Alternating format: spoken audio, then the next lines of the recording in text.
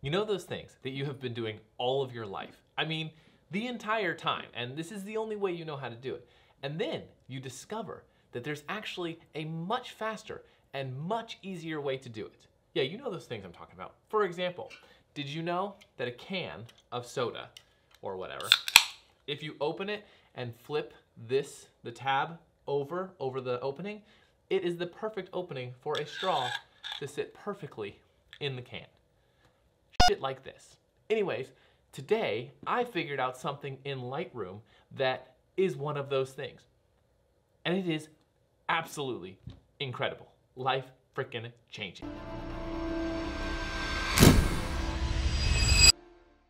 Will Simpson here, and welcome back to the channel. Today, I'm gonna show you a little trick of updating masks that I just learned, and if you know it, well, first of all, why didn't you tell me? And secondly, Lucky you. so here we are in Lightroom. Now, here's a photo that I edited. Now, here's the before, and here is the after.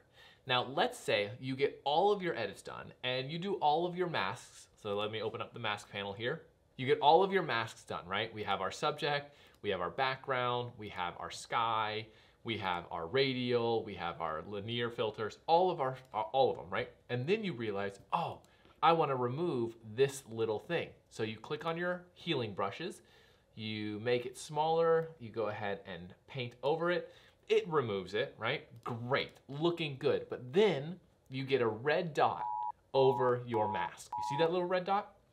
That little red dot means that you have to update your mask selections, all of the AI ones, the background, the subject, the subtractions, all of it, right?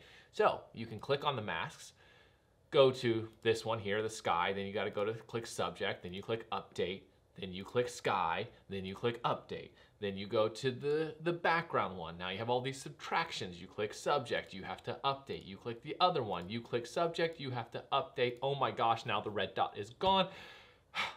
that takes so much time.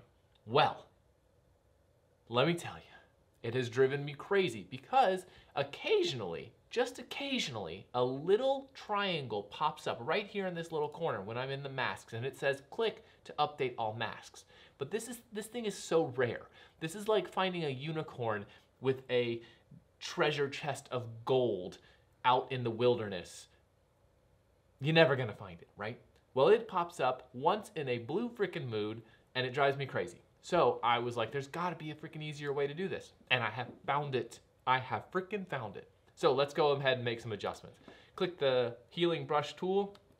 We're gonna zoom in here. We're gonna do this one, right? I'm Gonna remove that. We're gonna remove that little boat. We're gonna kind of move over here and we're gonna move, remove some of these little things. We're gonna make all these little adjustments and just clean up the image because it'll look so much better. Okay, now here we go. We got our red dot, right? Are you ready for this? Are you ready for this? Here is all you have to do, and this sickens me how I didn't know this before. But first, hit the like button because it's worth it. And subscribe if you haven't already because, again, it's worth it. But here we go. Ready? On your keyboard, if you have a Mac, you're going to press Command, Option, and U. Done. Updated. It is completely done and updated. And if you're using a PC, you're gonna hit Control Alt and U. I don't use a PC, so I had to make it a note just to make sure I got it right for you because it is game changing. That's it. That's all you have to do. So you can do this over and over and over again and not have to update the masks every single time. Every single time. It's terrible. Okay, but that's it. That's all I wanted to show you. That this is this is how painstakingly painful that this process was and it's so simple now.